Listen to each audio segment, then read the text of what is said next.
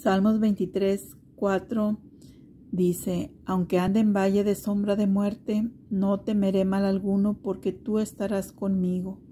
Tu vara y tu callado me infundirán aliento. Este versículo principalmente ha sido de bendición en nuestra vida.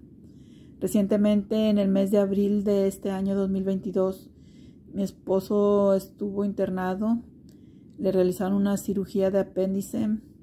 Las palabras del cirujano fueron las siguientes.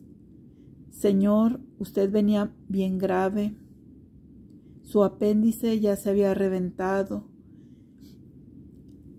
Estaba infectado, ya tenía pus pero cómo es Dios tan maravilloso que una capita de grasa encapsuló todo ese apéndice infectado y no permitió que dañara otros órganos. Esto nadie lo pudo haber hecho, solamente Dios. Y gracias a Dios todo salió bien.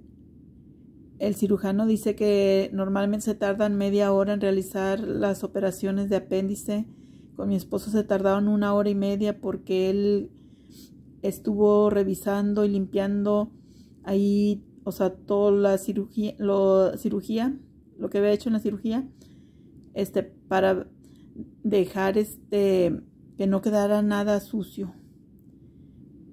Y pues mandó a analizar eso, ese apéndice y gracias a Dios, este, todo salió bien porque él decía que siempre cuando hay una cirugía de este tipo, este, mandan a analizarlo, una parte, pero él pidió que analizaran completamente todo el apéndice porque como ya estaba infectado, pero gracias a Dios no, no había cáncer.